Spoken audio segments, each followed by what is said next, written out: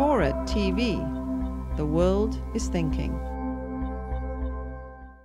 Okay. The Planets today is a marvelous work of fiction. Oh, yes. Yes, there is no such thing as Planet Nibiru or whatever they say. it's just it's just fiction.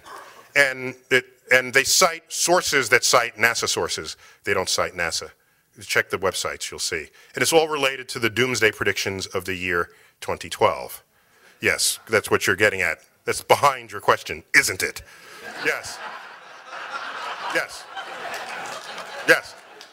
You want to know if the world is going to end on December 21st, 2012.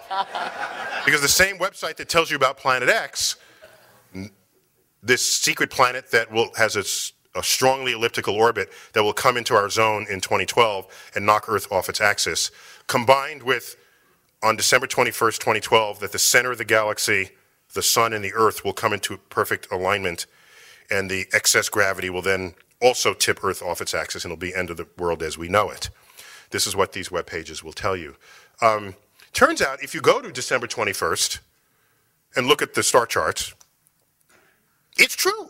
The center of the galaxy, the sun and the Earth, will come into perfect alignment. It will. It's true. It's true. What the site does not tell you is that that happens every year on December 21st. They left that out of the account.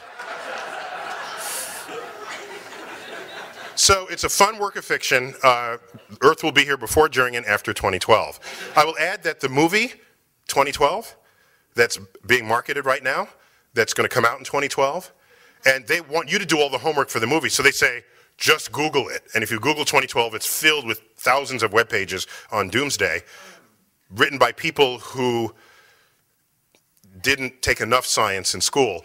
Um, they, uh, so you Google it, I saw some of the previews for it, and I was worried that I'd, we would, you know, all of us in this business would just be inundated with having to sort of correct misconceptions. And then I saw what, what they actually show in the movie. And the movie's like, aliens come and they take over the Capitol. And I said, oh, that's just another sort of like the movie Independence Day. And that, that, that's fine. It's just Hollywood.